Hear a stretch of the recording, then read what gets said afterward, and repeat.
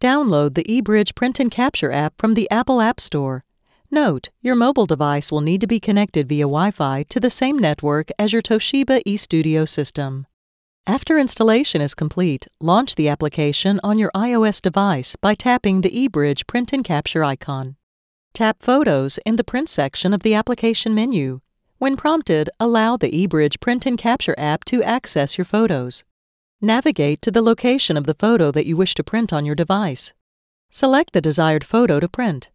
On first use of the app for printing, the system will attempt to locate your Toshiba eStudio system on the Wi-Fi network. If no devices are discovered, tap OK on the warning message.